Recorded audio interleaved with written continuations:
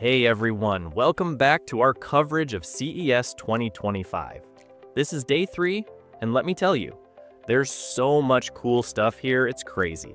I've been keeping track of everything from amazing AI home gadgets to incredible car prototypes, plus loads of new tech that's showing up everywhere. So, get comfy because we have a lot to cover in this recap.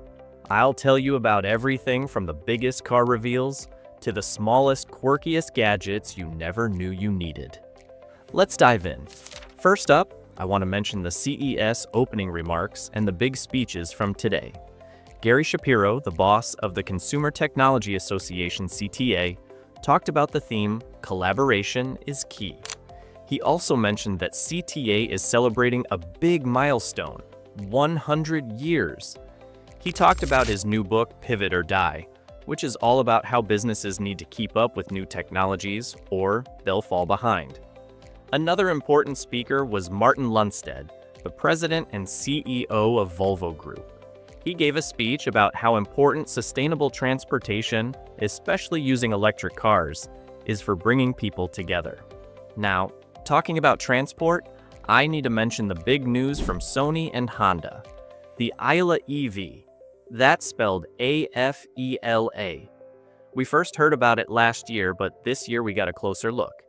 The Afeela project is all about making an electric vehicle, EV, that can go up to 300 miles on a single charge, uses advanced LiDAR sensors for safety and navigation, and has a really cool futuristic interior. It includes a new Dolby Atmos sound system, lots of screens, and you can even display messages like Happy Birthday on the car's front hood.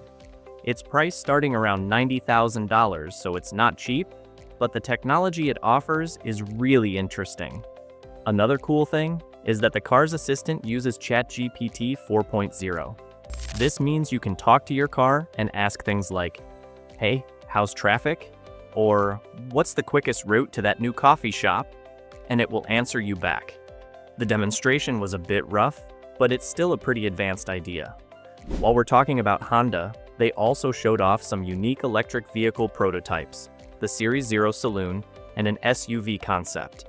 These cars have a bold, sharp design that might make you think of the Tesla Cybertruck, very angular and modern.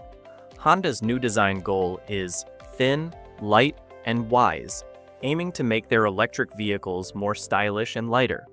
We'll see more about how these designs develop by 2026, but these concept cars at CES definitely got people talking. Let's talk about vehicles for a bit. BMW impressed everyone with their new panoramic iDrive, a huge display across the windshield in their electric Neue Klasse cars. This display shows you your speed, navigation, and even gives AI-driven tips. This could mean that regular buttons in cars might start to disappear. Over at Delta Airlines, CEO Ed Bastian gave a big speech about how AI and better internet connections will change travel. Delta is introducing a new AI voice assistant called Delta Concierge on their Fly Delta app, and they're teaming up with Uber. This means people can earn miles for their flights when they take Uber rides. The speech was full of cool effects like visuals of planes taking off. It was really something, but that's what you expect at CES. Now, switching to home technology, there was plenty to see on day three. One of the most amazing things was the Displace TV, a completely wireless TV.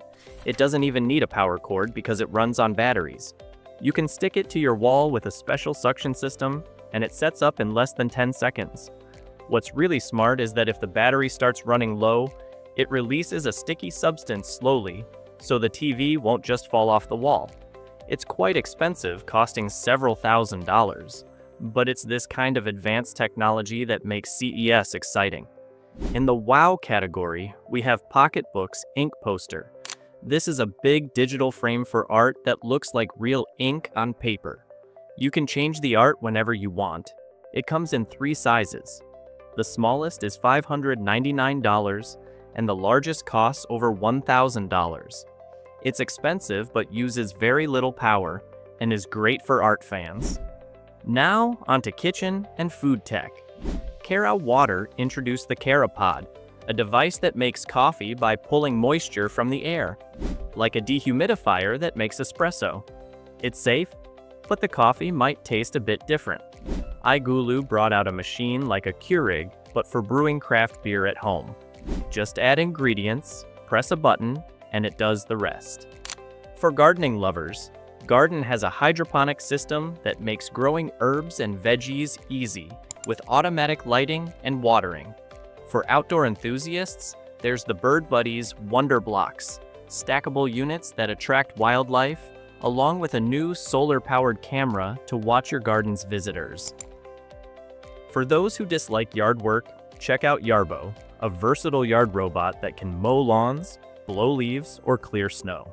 Segway also showcased their new Nymo, a quiet, simple robotic lawnmower.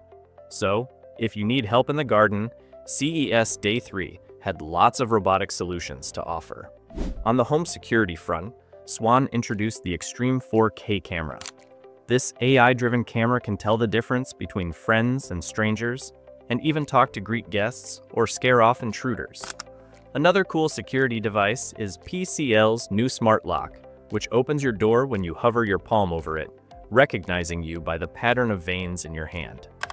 We also checked out the Birdie Feeder 2 from Netvue's Birdie line. It's a bird feeder with a built-in camera that has three lenses, allowing you to see birds from different angles. Similarly, Realiz's Birdie Smart Bird Bath can automatically adjust water temperature and clean itself. Turns out bird baths can be high-tech too.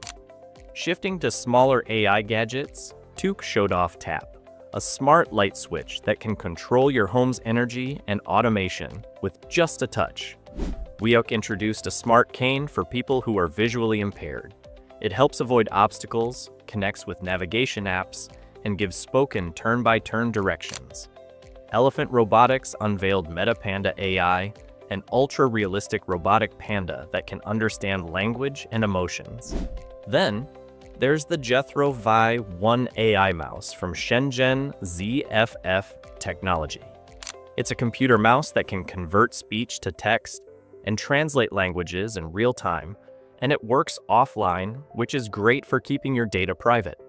For audio enthusiasts, Kanto had some exciting news. They introduced the Kanto Rens, a new set of desktop speakers in a striking bright orange. On day three, they also presented the Kanto Uki bookshelf speakers.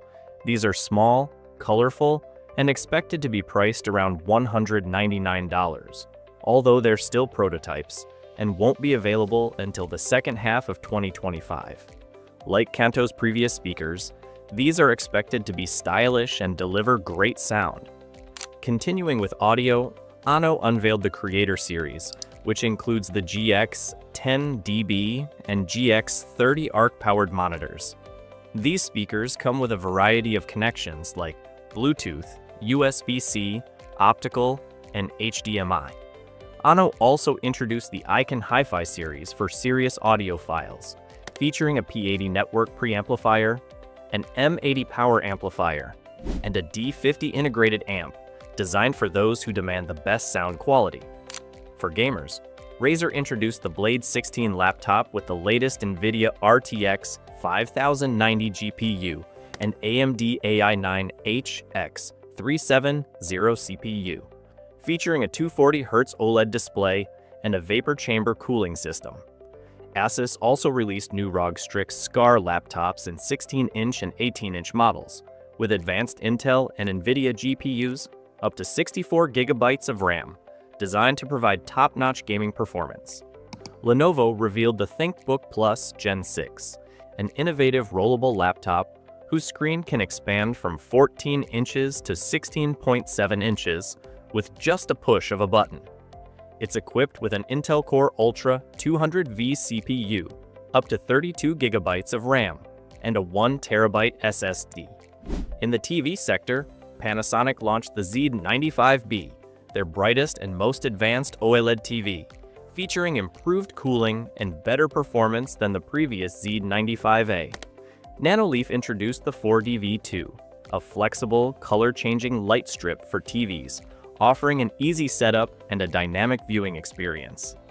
We also revisited the Displace TV, the completely wireless TV I mentioned before. Samsung introduced an ultra-bright QD OLED TV, the 95F, and talked about improvements to their Home AI with Bixby and new picture optimization features. Turning back to some unique gadgets, we saw the Hypershell, a wearable device that might help you run faster or with less effort, though it raised some questions during the demo. Another cool gadget was the Aurzen Zip, the world's first ultra-portable tri-fold projector, perfect for watching movies while camping with its 90-minute battery life. Okay, that wraps up our big recap of day three. Thanks for sticking with me through all this. If you've read this far, you're probably as excited about all these gadgets as we are. Don't forget to leave any questions or tell us what you liked most about today's coverage in the comments. Until next time, just remember, if it can be powered by AI, it probably will be, and sooner than you think.